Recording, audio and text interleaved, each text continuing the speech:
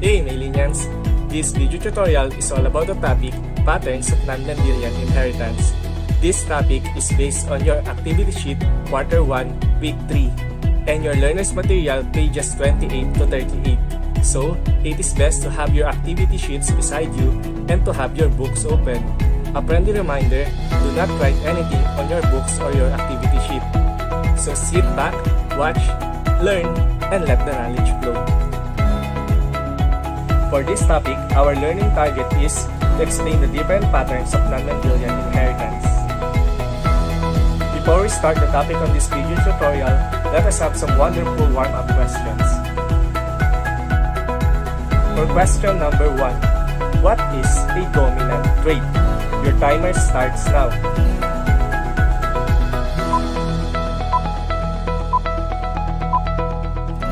Time's up. Boom! You got the correct answer. Dominant traits are traits that are expressed and are represented by capital letters. For warm-up question number 2, what is a recessive trait? Your timer starts now.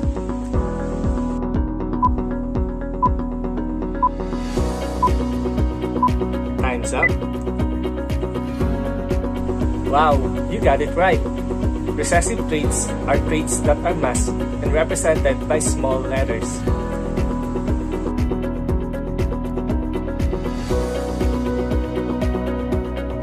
We have five different patterns of non-Mendelian inheritance.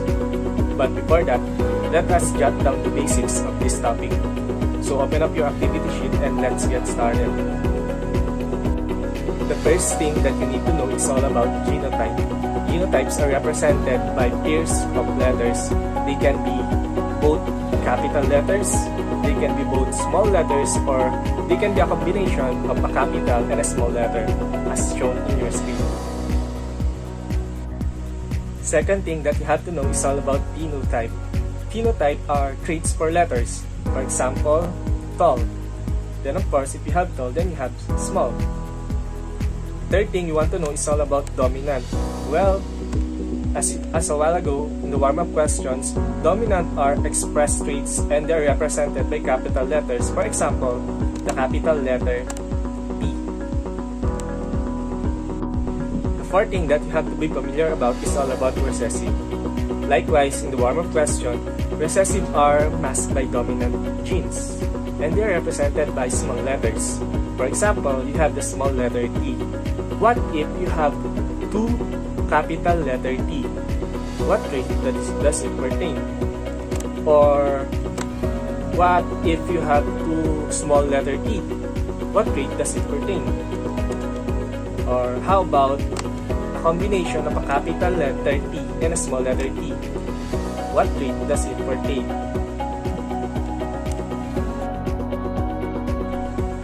The fifth thing that you should know and should be familiar about is the Punnett square.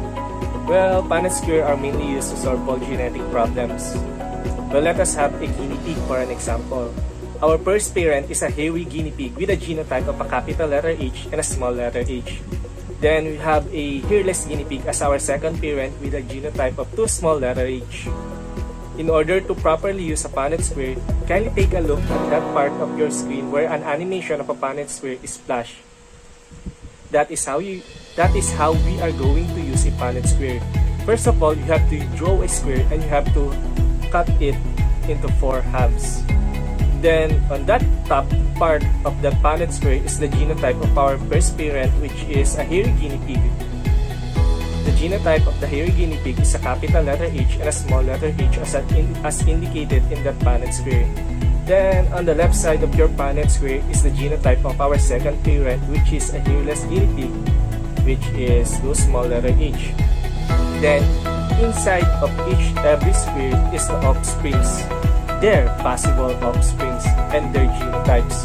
From that genotype in each squares, we will be determining the traits or their phenotypes. Let us now discuss about the five patterns of non-Mendelian inheritance. Pattern number one is called incomplete inheritance. This pattern occurs when two dominant traits are blended. For example, in flowers, their petals have two dominant colors, red and white. Red and white cannot be shown in a similar petal. So the tendency for these two colors is they blend. If a red flower is blended with a white flower, you will have an offspring of a pink flower, and that is called incomplete inheritance. Pattern number 2 is called codominance. This pattern occurs when two dominant traits won't blend together like the first pattern. As a result, these two dominant traits will manifest together in an organism. Let us have cows for example. In cows, there are two dominant coat colors which are black and white. If a black cow is mated with a white cow, you won't have a gray cow or an offspring. White and black won't blend and become gray. Instead, these two colors will manifest together in their offspring.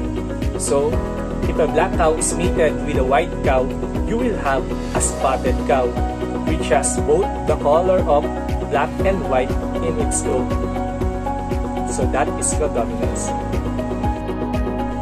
For a bonus, codominance is also observed in blood typing.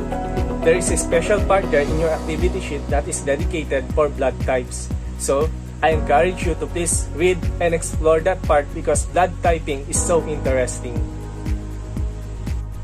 Pattern number 3 is called multiple alleles. This pattern usually occurs in animals with furs that have lots of possible combinations of coat colors like the bunny flash in your screen.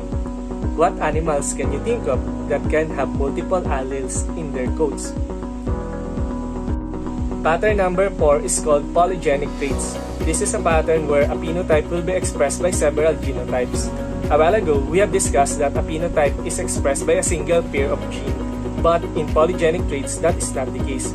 Let us have the picture flashed on your screen as an example. That picture is showing the different kinds of skin colors. Can you find your skin color in that picture? Well, I know you can find it. Let us have the fairest of them all. A very white skin is a phenotype and it is not only expressed by a single pair of genes, but it is expressed by three different pairs of genes. Can you name those genes? I bet you can do it. That is polygenic traits. Pattern number 5 is called sex-linked traits. This is a pattern all about X and some Y and some carrier. If you're a female, your genotype will be two capital letter X. If you're a male, then your genotype will likely to be a capital X and a capital Y. If you have a sickness like color blindness or other sex-linked sickness, then your genotype will be a capital X, a C on top, and a Y. Well, the world is so unfair that most of those sex-linked diseases can only manifest on men, and females can be only considered as carriers. An example of those sex-linked traits are hemophilia, color blindness, and pattern baldness. Those are called sex-linked traits or sex-linked diseases. To check if you have learned something from this video tutorial, let us answer some series of questions that will generalize our topic. First question is, what are the five patterns of non-Mendelian inheritance? Your timer starts now.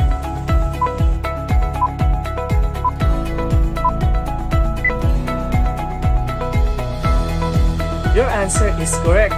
Looks like someone is doing some serious studying, huh?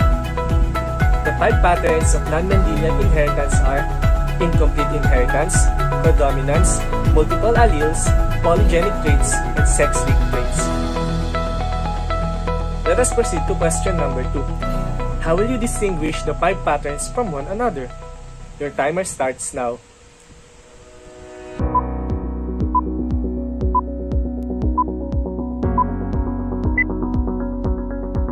Wow, you are really nailing this lesson. That is correct. One pattern is different from each other because each pattern has a unique set of genes or genotypes to express and a unique set of phenotype to manifest. Let us now proceed to your task found on your activity sheet and help Harriet and Nana achieve their goal. For week number 3, enrichment activity number 1, Harriet and Nana's inheritance. You will be tasked to identify the five patterns of non-Mendelian inheritance and write a short definition for each. Good luck! For week number 3, enrichment activity number 2, Harriet and Nana's Choice, you will be tasked to look at several pictures. Then, you will have to identify what type of non-Mendelian inheritance is being portrayed by those pictures. Happy thinking! And to understand further, kindly answer these two wrap-up questions. That's it for the video tutorial about the topic Patterns of Non-Mendelian Inheritance. If you have any question, post it on your science Facebook group. Don't forget to like and subscribe to our channel and ring the notification bell for more updates. Thank you and see you on the next video.